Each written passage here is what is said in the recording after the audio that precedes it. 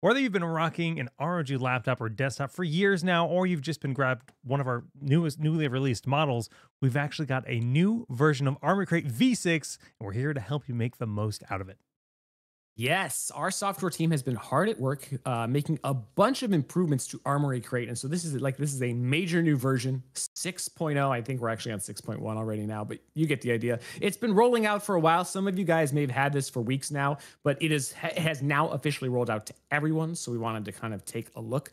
Um, Armoury Crate, for those of you who don't know, is our software that uh, is kind of our one-stop shop controlled software for everything on your PC, right? It is what unlocks a lot of the features of uh, our ROG laptops, motherboards, our peripherals like mice and keyboards, right? It manages your RGB lighting, which mine is telling me my mouse is low on battery because I haven't charged it in like two weeks. Um, the but the other thing it does um, is is that uh, uh, especially on laptops, it's kind of essential to the the operation of the machine, right? Because hmm. the operating modes like silent mode, performance mode, turbo mode, a lot of people don't realize that those aren't just fan curves, right? Those also determine the TGP of your graphics chip and things like that. So um, there are some functions in there that are really useful, and that if you um, and if you're not using them, you're not necessarily like kind of making the most of your machine and getting the best battery life or using the mux switch, all of that kind of stuff. So I want to start by just taking a look at the latest version. We're going to use Jake's desktop as, as our first example, yeah. and we'll look at laptops in a little bit. The first thing you will notice is the brand new look. Um, it's a bit sleeker, a little bit less like visually busy while still packing a lot of information into that one main window. Um, you've got like your CPU and GPU clocks up there. You've got all of your temperatures, your uh, fan uh, fan speeds, usage, all of those kinds of stuff, even voltages if that's something that you're into, all in that one area on the right. On the left, kind of where Jake's mouse is, it's going to show you the kind of the main device that you're using. So on a laptop, it'll show you the laptop model, like Strix Scar 18 or whatever. On a custom built desktop, it's going to show your motherboard because that's kind of like the heart of the machine, right?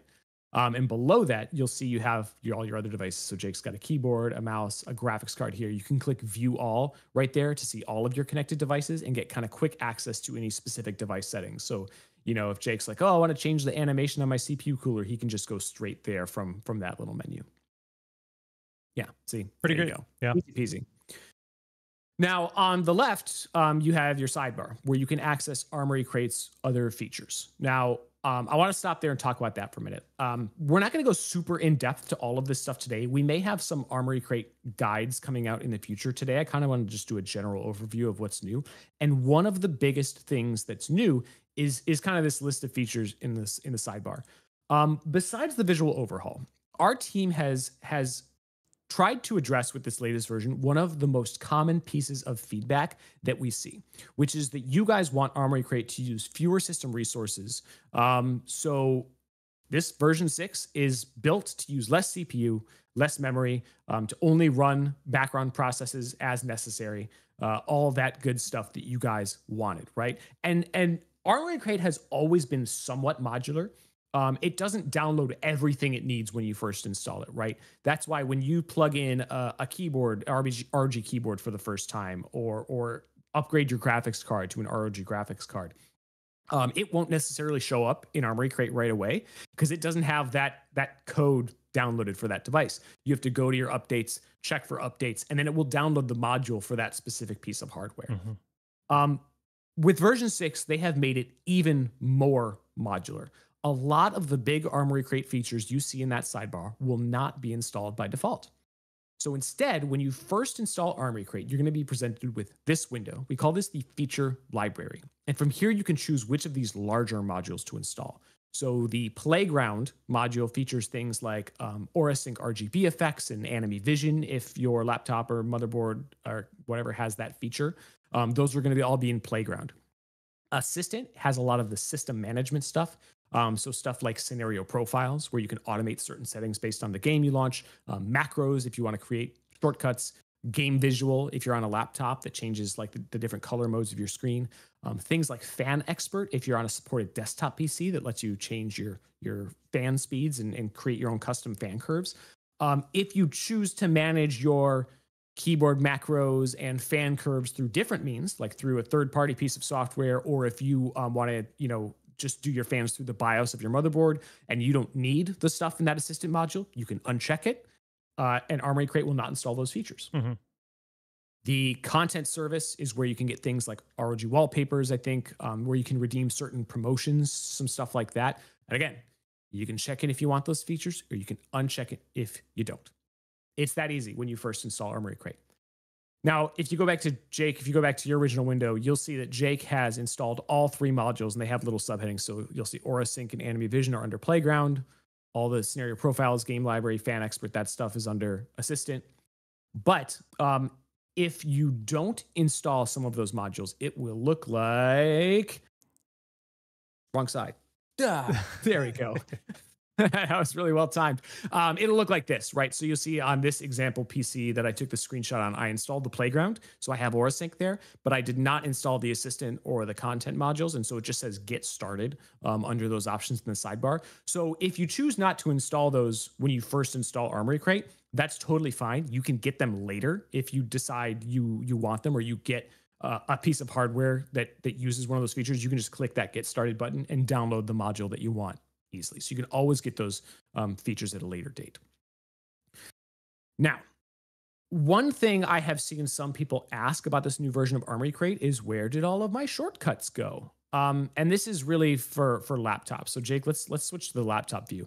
In an effort to simplify this main page, kind of like I talked about earlier, and, and unify it a bit between desktops and laptops to an extent, a lot of the shortcuts that used to exist on that main page for laptops um, have moved. It kind of created a lot of like visual clutter and, and depending on your machine, you'd have to like page through multiple pages of, of stuff to find certain toggles. But those features aren't gone. Um, those were all just shortcuts to features that you could find in Armoury Crate.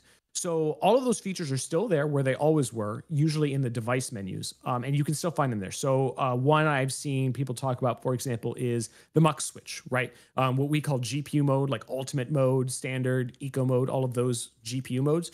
Those are still in Armoury Crate. They're just not on the main page. You can find them if you click your system settings there, Jake, or if you click devices in the sidebar and choose your laptop. Um, that's where a lot of that stuff is going to live. You'll see some tabs once you yeah click click uh, click on your laptop. You'll see a lot of those tabs along the top. There should be one that says GPU performance. That's where you're going to have um, those mux switch options, so you can switch between ultimate and standard mode there. Um, if you have an Intel laptop and you want to adjust how many P cores and E cores are in use, um, there should be a, uh, a CPU core configuration tab here. It might be under those three dots on the right there, Jake.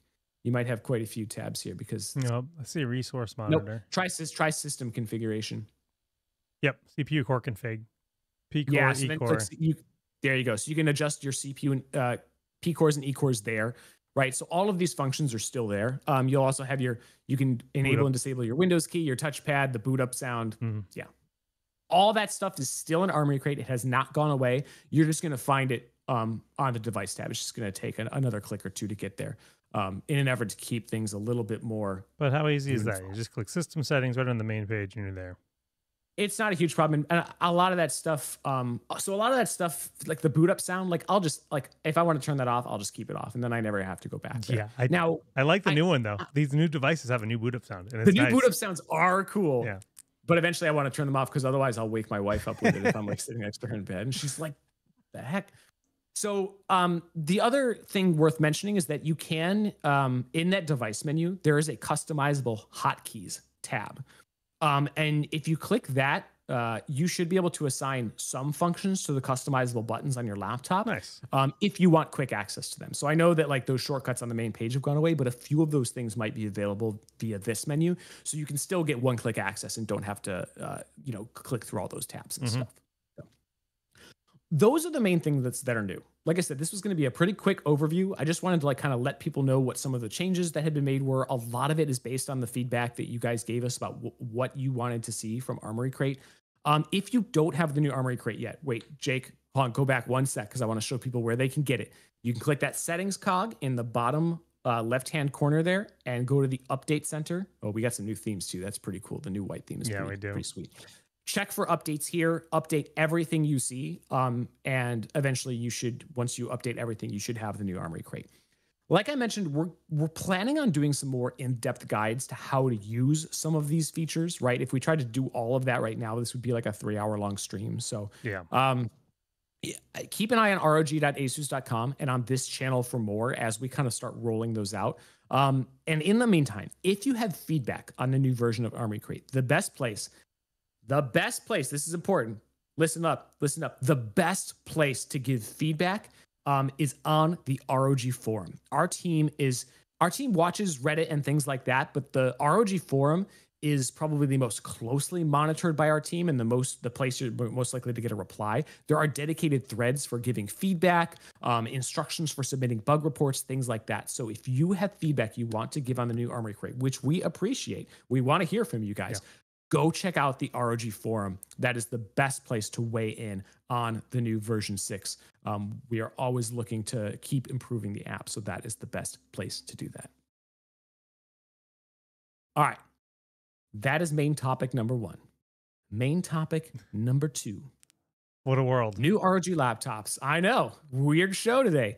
New ROG laptops are dropping soon. So, for those of you that watch this show regularly, you know we usually cut out our main topic for folks who come to YouTube after the fact. Um, during our full hour long stream, we usually talk about sales on our gear. We'll talk about what's on shelf that week, things like that. But then we cut that out of the VOD so people aren't scrubbing through like an hour long stream.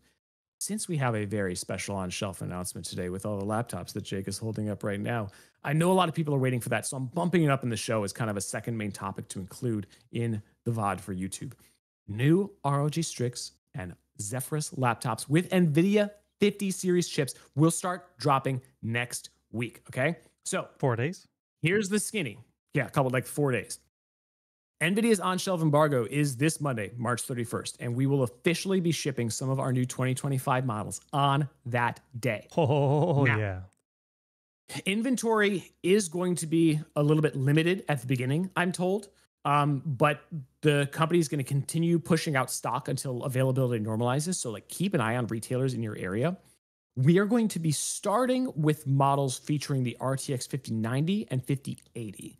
Um, 5070 Ti models will be coming later. So I think you have a couple examples of some of the laptops we're gonna that are gonna start shipping out. Um, like the Strix Scar 18, right? This is a, a big one with the RTX 5090. I believe there are the 16 gig RAM model and the 32 gig RAM model are both gonna start shipping next week.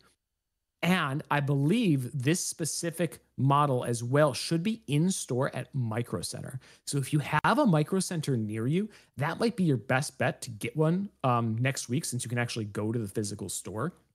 A lot of the um, online models, again, are going to be limited availability or um, they're going to be going out to, to pre orders.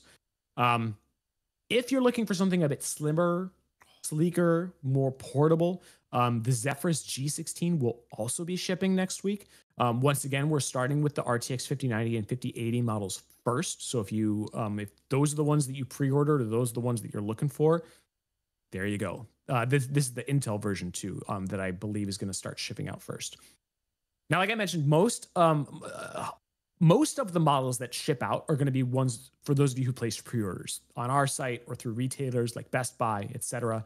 Um, I don't want to necessarily guarantee that everyone who pre-ordered is going to get a unit shipped on the 31st. It Hmm. may depend on where you are in that pre-order line, like when you pre-ordered and what stock is like for that specific SKU. But um, if you keep an eye on that estimated ship date uh, in your pre-order receipt or whatever, um, that may start fluctuating as new stock comes in. So hopefully, if it doesn't ship on the 31st, you'll get an update soon when when we get that more of those units in um, and are able to ship them out. We will be replenishing stock as we get it and send it to retailers. So like, just keep checking. We're hoping that stock should catch up throughout the month of April. Um, but it just it does just depend on what we get from our partners, right? Sometimes this stuff can be a bit fluid, but as of today, March 27th, that is the information I have to offer to you fine folks. In the meantime, if you want to see these laptops in action, well, you can't you can't see them in action yet on this channel, but soon, Soon. you should be able to see some of these laptops in action on this channel. So subscribe to ROG on YouTube. Follow us uh, on on Twitch. Um, Jake streams games here on Tuesdays and Fridays using ROG gear. Right now, he's streaming with his 5080 equipped desktop, but Mhm. pretty soon we'll have a Strix Scar model to stream from, maybe a Zephyrus model. Um, and stuff like that. So follow, subscribe to see all of that. And of course, you can always tune into this show, ROG Pulse, every Thursday at 3 p.m. Eastern, noon o'clock Pacific. Um, and if you watch live, there's way more content, including giveaways, ROG Elite points uh, for rewards with us, and more. So join us live to see the full stream.